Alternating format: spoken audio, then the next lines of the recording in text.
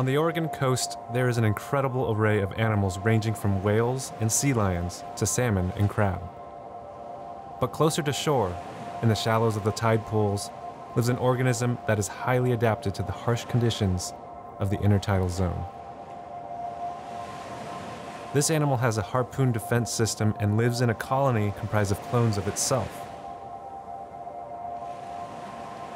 It can rely on photosynthesis in addition to eating. Among the sea stars and mussels resides this alien and sophisticated creature, the sea anemone.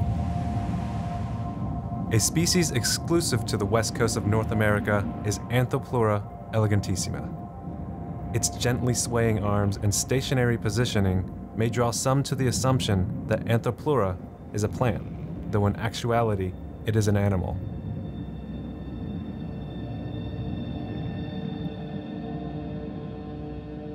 One of the ways Anthopleura is able to thrive is its remarkable ability to work with other organisms. Algae are one of the anemone's most essential partners, and we can see this by observing on the cellular level. The anemone offers its cells as a safe refuge for the algae, and in turn, the algae pass along the products of photosynthesis, providing energy to the host the anemone can provide a home to nearly a billion individual algae. The world on the cellular level is only the first glimpse into a complex network of relationships. A closer look reveals this world, and we can see into the bustling city that is the microbiome. Scientists are just beginning to understand the microbiome within the anemone and the benefits the microbes provide to their hosts.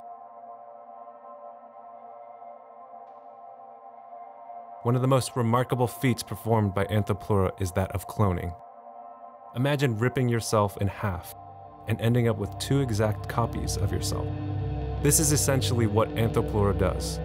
It then arranges the colony of clones in order to protect the innermost individuals. This allows them to devote all their energy and resources towards reproducing, while the outermost provide defense. These individuals utilize their stinging cells, or nematocysts, in order to ward off encroaching colonies.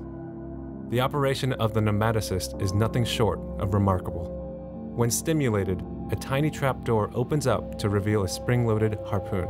This harpoon launches and embeds itself into the intruder and instantaneously begins injecting venom into the victim like a tiny hypodermic needle. Warring anemone colonies will then retreat, creating a demilitarized zone where a buffer exists that both colonies are comfortable with. Anemones are among the most successful creatures in the intertidal zone. They are able to thrive in highly variable environments, up and down the coast from the warmer waters of Baja to the colder climate of British Columbia. Scientists believe we have a great deal that can be learned from these fascinating creatures occupying our tide pools. Their remarkable ability to work with other organisms and thrive in varying environments give us clues as to how they may adapt to a changing ocean environment.